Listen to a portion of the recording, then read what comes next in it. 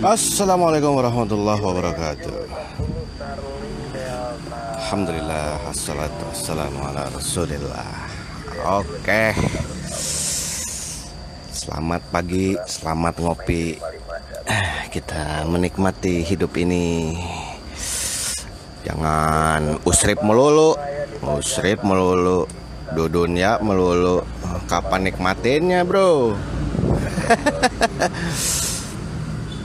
ya hidup sambil dinikmati lah gitu ya. Oke, kita ngomong apa sekarang? Kita ngomong masalah emas.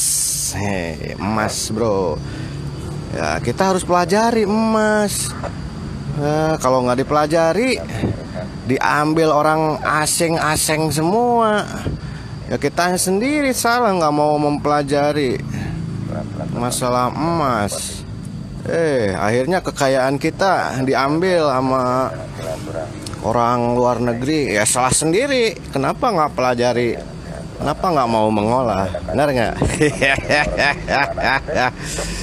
Oke dah, sambil ngopi. Kita singkirkan dulu. Eh, sambil bakar gaharu. Nih, kayak gaharu juga taunya duit aja duit aja. Makanya enggak manfaatnya nggak tahu hasilnya nggak tahu keilmuannya nggak tahu. Ya sudah diambil sama orang luar semua dimanfaatin sama orang semua. Gitu. Ya kita nyalain dulu dah. Biar kita santai. Ada tuh uh, ya nggak usah disebutin lah. Kalau antum kalau aneh sebutin antum pada tahu siapa orangnya gitu. Dulu kecilin dulu ininya. Jadi dulu sempat bertemu beberapa kali di Jakarta. Gitu. Aneh sampai ditawarin satu kantor di di, di sana gitu kan. Bilang kamu pindah ke Jakarta. Ada gitu ngapain tinggal mulu di Tasik? Hehehe. Sampai waktu itu ada acara di Tasik. Nah, kebetulan beliau datang ke Tasik pagi-pagi ngontek minta jalan-jalan cari sarapan gitu ya. Bilang begitu lagi. Bilang gitu katanya. Pindah ke Jakarta. Ngapain kamu tinggal di Tasik Eh, segede-gedenya duit Tasik nggak bakalan ngalahin duit Jakarta. Eh sampai bilang begini dia. Uh, kamu mau jadi posil di Tasik? Aduh masya Allah. Tapi alhamdulillah alhamdulillah. Saya terima dengan baik. Saya terima dengan baik menjadi motivasi gitu ya kalaupun diem di Tasik tapi asetnya melebihi orang Jakarta kan mendingan diem di Tasik di rumah tiap hari sama anak istri. Ih itu orang cari cari waktu. Waktu nggak bisa dibeli. Benar nggak bro? Benar nggak bro? Alhamdulillah buat yang setiap hari ada di rumah. Gitu ya. Tapi ya itu jalan hidup setiap orang kan beda-beda. Begitu ya Sebentar, saya ambil dulu gaharunya. Mau bakar yang berapa juta per gram? Ada kita.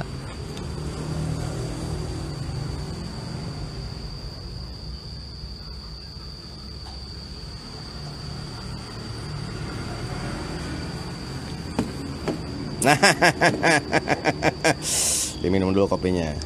Bismillahirrahmanirrahim. Nah, ini dia brother ini harganya ya eh, sebenarnya nggak bisa dihargain. Karena apa? Karena kalau bikin susah nggak ada yang bisa bikin. Ini hanya Allah saja yang bisa. Itu ya.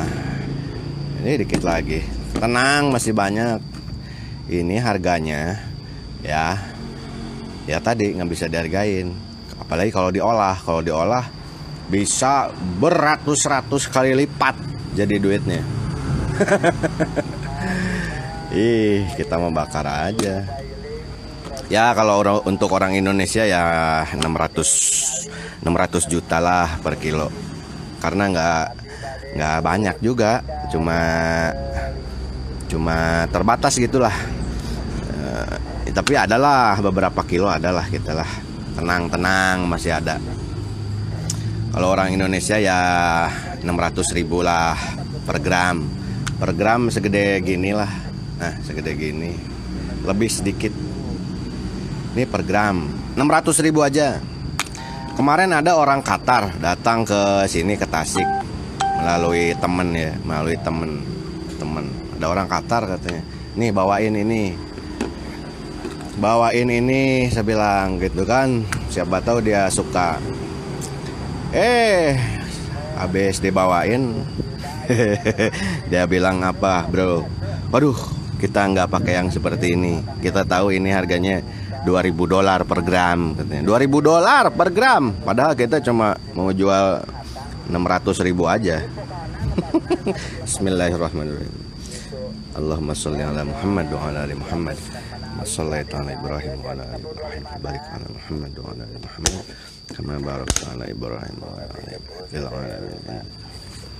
Oke, mantap saudara-saudara. Nah, ini Uh, masya Allah, fruity, fruity kalau kata orang Hong Kong, ya. Yeah. Saya punya customer orang Hong Kong. Uh, ya alhamdulillah kalau yang ini udah terkirim ke 24 negara lebih lah. 25 25 sekarang. Ketambah satu. Kemarin mau kirim ke Aljazair cuma karena lagi sibuk orangnya sampai ngambek gitu. Sampai ngambek. Tadi malam ada orang Kuwait yang nanya tapi gaharu biasa? Nah, kita tawarin gaharu yang luar biasa. Ya ngebakarnya juga nggak nggak perlu sebanyak uh, gaharu yang murah, gaharu yang biasa, yang ecek-ecek. ya memang cuma masalahnya ini orang-orang tertentu aja yang ngerti. Nah, kalau kata orang Hong Kong, fruity katanya. Orang Kristen sebenarnya, cuman dia uh, ngerti gitu, percaya dia, itu, paham dia. Termasuk orang yang pertama percaya omongan saya itu. Orang Hong Kong udah beberapa kali dia beli. 25 negara lah. Kita udah kirim meskipun nggak banyak-banyak nggak banyak-banyak gitu. Lah oh ininya juga Oh kan lihat tuh kan minyak semua itu. Orang cari gahalu kan minyaknya yang dilihat. Ini unsur kayunya udah nggak ada Udah tinggal minyak semua. Usianya berapa coba? 400 tahun. Nggak lebih dari 400 tahun Masya Allah la haula wa la nggak semua orang bisa ngerasain gaharu yang usianya 400 tahun. Cuma kalau orang-orang keraton tahu. Tapi yang udah tua-tuanya, kalau yang muda-mudanya ah udah apa gitu. Tahu dia karena zaman-zaman ya masih zaman kolonial lah masih dipakai di keraton. Sekarang juga masih dipakai juga. Cuman yang tua-tuanya yang mudanya nggak tahu dia ngerti apa enggak gitu. Gaharu. Ya emang menak sih kalau gaharu itu. Cuman raja-raja gitu orang-orang suci gitu yang ngerti itu. Dan orang-orang yang mempelajari tentunya.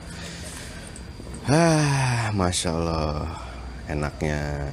Jadi kalau kata orang Hongkong fruity vintage katanya gitu. Jadi seolah-olah kita menghirup asapnya itu kita dibawa ke entah uh, zaman apa gitu ya. Zaman apa gitu luar biasa nyantai. Healing healing cina istilahnya begitu ya. Kalau kata orang-orang luar jadi relaksasi santai sambil ngopi. Deh kopinya keburu dingin minum lagi Be, ya nggak bisa diungkap dengan kata-kata kalau masalah aroma. Aroma itu nggak bisa dideskripsikan. Jadi lebih luas gitu, lebih dalam gitu ya karena hidung kecuali hidungnya bisa di ha, bisa di di dipinjemin. Ha, yang pasti ini kalau dideskripsikan uh, fruity, very sweet, fruity vintage eh wonderful. Yeah. Sok bahasa Inggris. Oke okay, ya. Cuma rata-rata yang ngertiin itu yang yang spiritualnya yang ruhaninya mungkin yang imannya yang kedekatannya kepada Allah itu di atas rata-rata biasanya ngerti. Kalau orang yang sok tahu gitu apalagi orang dungu. Aha sekarang lagi zamannya zaman kedunguan merajalela begitu ya apalagi orang dungu wah nggak bakal nyambung kita ngomongin kayak begini. Kita bakar lagi coy. Eh mantap. Eh meskipun kita jadi posil di Tasik eh jangan salah. Itu. Nah, kalau soal aset eh ayo berani ngadu kita. Negara aja bisa dibeli istilah katanya. Tapi nggak boleh sombong kata Pak Kiai nggak boleh sombong. Kita merendah hati. Yang penting kita happy aja kita enjoy gitu ya. Jangan khawatir. Ada orang-orang yang khawatir. Kenapa orang-orang khawatir sama saya? Orang saya orang anak nyantai kok. Gitu. Sayang katanya punya ilmu punya potensi oh, nggak diam di Jakarta nggak keluar negeri. Eh saya malah lebih senang di sini di rumah tiap hari. Ah udah. Eh mau ngomong emas ya ini satu gram nih 600 ribu pagi ini. Nggak ada yang mahal kalau buat solawatan buat ibadah ya nggak? Buat mendekatkan diri kepada Allah. Karena yang Rasulullah ajarkan dari gaharu itu adalah sebagai wewangian katanya jadi menambah kehusuan ketika kehusuan ketika beribadah. Dan para nabi para rasul itu sangat menyukai wewangian apalagi wewangian yang natural apalagi yang langka apalagi yang mempunyai unsur. Ya memang Rasulullah tidak mengajarkan hal-hal yang gaib-gaibnya ya karena dikhawatirkan. Nanti malah justru salah paham akhirnya hmm, apa namanya terjerumus kepada hal-hal yang musyrik gitu. Malaikat oh pada senang banget gitu ya. Malaikat pada ngumpul pada eh ikut nongkrong gitu. Eh, jin-jin yang baik-baik yang soleh-soleh itu pada ikut nongkrong eh kita mah nggak usah ini.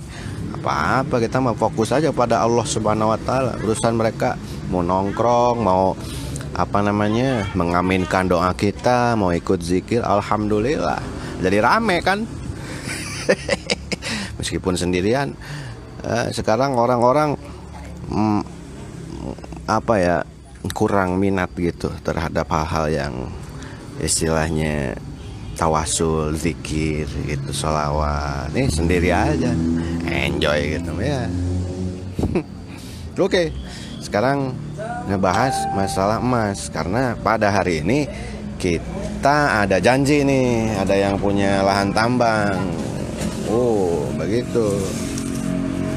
Ini nih batuan yang mengandung emas, begitu bro. Jadi uh, gunung berapi gunung berapi vulkano vulkano. Itu paling banyak di mana? Ya di Indonesia. Paling banyak di mana di Indonesia? Ya di Jawa Barat secara logis Jawa Barat lah yang paling banyak emasnya gitu.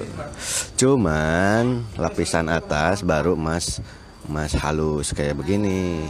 Ini emas ini ini emas ini bro kalau diolah. Makanya kan nggak kelihatan nggak kelihatan kuning apa kayak gimana kayak emas. Taunya emas udah jadi aja buat mas kawin buat kawin lagi.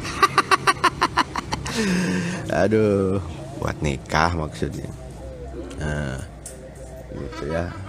Ini emas ini bro. Cuman setelah saya pelajari orang-orang tuh uh, masih tradisional. Cara ngolahnya teknik pengolahannya pakai tromol gitu ya. Padahal sudah berkembang. Ada yang pakai electrowinning kemudian uh, pakai kimia. Kimianya juga macam-macam tekniknya juga macam-macam setiap orang punya ini sendiri-sendiri itu ada sistem rendaman sistem siraman sistem apalagi itu? Sistem getong ada uh, tromol kalau yang udah biasa kebanyakan. Nah itu ternyata banyak ke kelebihan dan kekurangannya. Nah kita cari teknik yang lebih efektif dan efisien. Karena apa? Karena yang namanya emas halus kayak begini itu mesti uh, mesti teliti mesti apik ya gimana tuh apik bahasa ininya? Ya mesti cermat gitu ya. Karena sayang kan kalau terbuang udah sedikit kebuang lagi. Yang penting bahannya dulu nih. Bahannya bahannya kita deteksi mana nih alatnya. Oh nggak dibawa dah. Nggak apa-apa lah. Biar penasaran.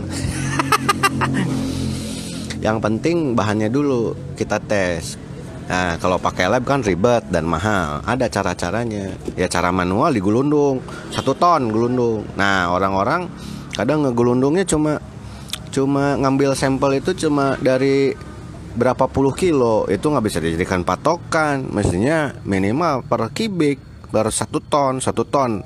Satu ton begini dites berapa hasilnya. Satu ton berikutnya berapa hasilnya. Satu ton sampai 10 kali kalau bisa sebenarnya biar nanti dirata-ratakan. Oh ini ppm-nya bebatuan ini emasnya sekian ppm per ton. Nah jadi dari situ bisa kita kalkulasi. Untung apa kagak nih kalau dieksplorasi gitu. Kita nggak usah gali lobang sebenarnya. Uh, orang pada nyamperin sendiri nanti mah gitu bro. Bahkan limbahnya aja masih ada kandungan emasnya gitu. Yang habis ditromol-tromol tuh gurandil-gurandil Nah itu limbahnya masih ada tuh bisa diolah. Nah kita cek dulu pakai kimia. Nah, Oke nih layak baru kita beli kita kalkulasi ada duitnya. Berarti kalau 10 ppm 10 ppm itu dari satu ton 10 gram gitu. Berarti kalau pengen sekilo ya 10 ribu 10 ribu kilo 10 ton ya bener nggak ngitungnya eh salah ya 1 ton 10 gram. 10 ton 100 gram.